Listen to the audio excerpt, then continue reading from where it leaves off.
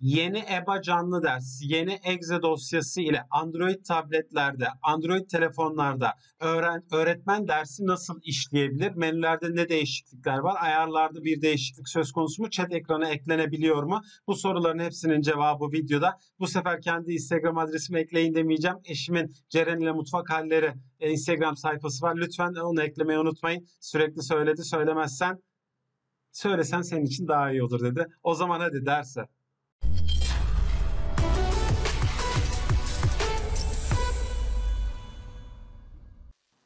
Sayın hocalarım, sevgili öğrenciler, hadi EBA canlı ders uygulamasıyla Android sistem üzerinden, telefon üzerinden bir ders verelim ve gayet ayrıntılı olsun. Evet, telefonumuzun ekranında EBA uygulaması var. Bu EBA uygulamamıza tıkladık. Uygulamamız açılıyor.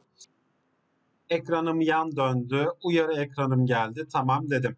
Ekranın sol tarafından canlı dersler sekmeme geldim. Üçüncü sırada.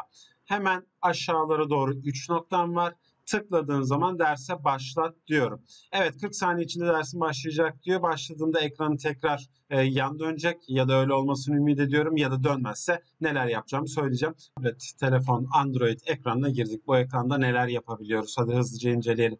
Ekranın sol tarafında mikrofonu kapat, mikrofon sekmesiyle birlikte öğretmen oturumu için hemen kenarında kameramızı açıp kapatma seçeneğimiz var. E, orta tarafta ekran paylaşımımız bir sağında kullanıcı bir sağında diğerleri. Diğerleri dediğine burası bizim için önemli çünkü. Diğerlerine girdim. Burada bir alkış bir de onay verme düğmemizin dışında ders ayarları var. Peki bu ayarlardan neleri yapabiliyoruz? Burayla ilgili net sorular geliyor. Zaten bu videoyu çekmenin en büyük amaçlarından birisi de bu kısmıydı.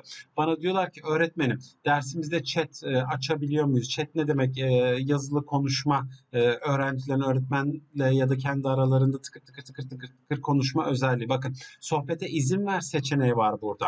E, bu seçenek normalde şu şekilde geliyor. Hiç kimse olarak geliyor. Ama siz bunu buradan herkese açık şekle getirirseniz Zoom altyapılı EBA canlı derste gene kullanamıyorsunuz. Hocam e, ben Zoom'un programında bu sekmeyi açtığım zaman artık aşağıda chat kısmı açılıyor. Doğru açılıyor ama EBA canlı ders bu desteği istememiş. Dolayısıyla burası aktif olmuyor. Siz burayı düzeltseniz bile. Bunun dışında öğretmenlerimiz bana şunu ısrarla sordu. Tablette ya da telefonda öğrenciler ekranı çizdikleri zaman bunu nasıl engelleriz bilgisayarda olduğu gibi. Engelleyemiyoruz hocalarım. Ayarlarım burada. Yani girip bunları bir incelerseniz vakit geçmesin diye uzatmak istemiyorum. İncelerseniz burada bu ayar yok. Ekran paylaşımını kilitleyebiliyorum. Öğrencinin girmesini engelleyebiliyorum. Dersin konusunu değiştiriyorum. Giriş çıkışları sessize, mikrofonu sessize alabiliyorum. Ama maalesef ki tahtanın çizilmesini buradan engelleyemiyorum dedikten sonra evet e, bir önceki sekmeye geri dönelim. Katılımcılarımız var. Katılımcılarımızdan bir adet öğrenci, bir adet öğretmen. Biz yeni gelen EPA canlı dersiyle dedik ki e, hocalarım işte ekranınızı e, yönetici yetkinizi bir öğrenciye verirseniz siz dersten düşerseniz e, bütün öğrenciler dersten düşmez. Yalnız bunun şöyle bir handikapı oldu. E, yönetici öğrenci atadığınız zaman bu sefer siz işten yönetici olmaktan çıktınız ve ekran paylaşımı yapamadınız. E biz ne anladık bu işten? Burada bir hata var. Maalesef ki şimdilik öğrencilerimize e, yönetici yetkisi vermiyoruz. Bu ne demekti? Öğrencinin üzerine tıklayıp yönetici yap seçeneği. Tamam o zaman yardımcı yönetici yapayım. E, yardımcı yönetici yaptığımızda da biz dersten düşersek gene herkes düşüyor. Bunu denedik canlı derste videosu kanalımızda. Bu ayarlarımızı artık ellemiyoruz sisteme güncelleme gelinceye kadar. Kapat dedim. Devamında burada bir paylaş sekmem var. Paylaş sekmemde Android tablette, Android telefonda, Android işletim sistemi olan aygıtlarda nasıl ders işlerim? Tahta. Tahtayı kullanıyoruzdur diye tahmin ediyorum. Ee, basit de bir arayüzü var. Bakalım bu tahtadan neler yapabiliyoruz iki defa tıkladım. Sabırsız olmamak lazım. Tam ekranı paylaşırken de o ekran gitti. Tahtamız geldi. Sol taraftaki kalemden alıp istediğimiz değişikliği yapabiliyorduk. Doğrudur. Hemen gene sol tarafın yanındaki silgiden bu arkadaşlardan en son yaptığımız şeyleri silebiliyorduk. Onun bir yanından renkleri değiştirebiliyorduk. Yine bir yanında da bizim bir tık daha kalın ya da ince yazmamızı sağlayan e, bir seçenek daha var. Bir tık yanında da ekranı boyamadan nereyi seçmek istiyorsak orayı göstermemizi sağlıyordu. Yan tarafında bir çöp tenekesi var. Buradan yaptığımız All Driving bütün çizimleri tek seferde silebiliriz. Onun yanındaki 3 nokta ne işe yarıyor? Akıllı tanıma modunu açarsanız, açmasanız da olur. Açarsanız otomatik kaydetmeye başlar. Açmazsanız albüme kaydet dediğiniz zaman bu yapmış olduğunuz en sonki şaheseri e, sizin resimler bölümünüze kaydedebilir ders ekranından. Evet beyaz tahtamızla ilgili söylenebileceklerin şu yukarıda iki tane tuşumuz var. Bunlar da en son yapılan işlemleri ileri ve geri aldırıyor dedik. Beyaz tahtamızı kapattık. Ekran paylaşımını da durdur dedim. Bir yandan da kontrol ediyorum. Öğrenci ekranında aynı ekranlar gözüküyor mu diye aksiyen bir şey olursa emin olun haber ederim. Tahta bittikten sonra ekran. Ekrana e, en son geleceğim. Hatta gelmeye de bilirim. Yer imlerim. Yer imim ne işe yarıyor? Hocalarım ben ders esnasında bir şok yaşamayın. Bir web sitesine giderken başka bir web sitesi araya girmesin. Bir reklam girmesin dediğiniz zaman siz buraya gelip yer imleri belirleyebiliyorsunuz. Mesela ben örnek olarak Google'u ve Yahoo'yu belirledim. Peki nasıl belirliyoruz bunları? Yeni yer imi ekle diyorsunuz. Başlığınızı buraya yazıyorsunuz. Ali Veli 4950 buraya ne isterseniz onu yazabilirsiniz. Alt tarafa da web adresini yazarsınız. Yani bu ne demek? www nokta e, işte Google için olduğunu varsayalım google.com diye adresi tam olarak yazıyor olmanız lazım. Başlığa da siz en son ne verirseniz o başlık olur. İşte bu benim yer imim. Ekranın sağ tarafındaki kaydetten kaydettim. Bakın artık burada iki tane Google var. Çünkü ben sizden önce denemek için oluşturmuştum. Ya da bu en son yaptıklarımızı artık beğenmediysek, işimize yaramıyorsa ya da yanlışlık yaptıysak aşağı tarafta düzenle sekmesi var. Düzenle sekmesinden istediğimizi silip sonra tamam diyebiliriz. Bu ekranla da işim bitti paylaşma ekranına tekrar geliyorum. Bağlantı az öncekinin kaydedilmemiş hali. Yani siz bağlantıya tıkladığınız zaman e, buraya direkt nereye gitmek istiyorsanız onu yazıyorsunuz. Ama yer imlerini kullanmanız e, hem derse hazır olmanız hem de burada adresi doğru mu yazdım, yanlış mı yazdım, karşıma ne çıktı derdinden sizi kurtarır. Evet şu anda Google yazdım. Buraya gitti. Basit bir adresti. Öğrenci ekranında da gayet net gözüküyor. Bu paylaşımımı durdurdum. Tekrar paylaş dedim. Dokümanlarıma geldi fotoğraflarım. Fotoğraflarım sizin kütüphanenizdeki fotoğraflara erişiyor. Eriştikten sonra da kalemle üzerinde değişiklikler yapabiliyorsunuz. Gel gelelim dokümanlarım. Dokümanlarımda ne tür sıkıntılarım var ne tür e, faydalar var. Cihaz hafızasından bir adet e, dosyayı seç dedi. Tamam seçeyim. Ben cihaz hafızasında dosyalarıma picture resimler klasörünün içine koymuştum. Devamında da burada bir tane resim var. EBA arka plan JPG diye bir resim seçmişim. Tamam. Tıkladığımda olmuyor sayın hocalarım. Bakın yukarıda sağ tarafta paylaş seçeneği var.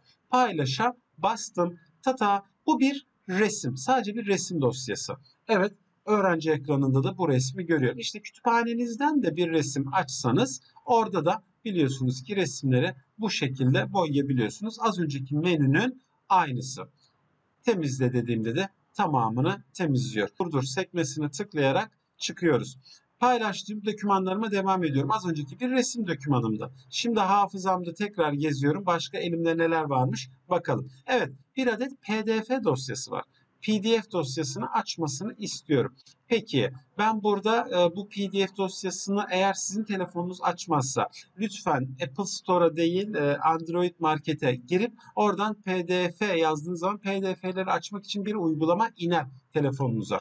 PDF de aynı az önceki ekrandaki gibi çat diye karşıma açıldı. Bu bir PDF dosyası. Ben gene kalemimle üzerinde değişiklikler yapabiliyorum.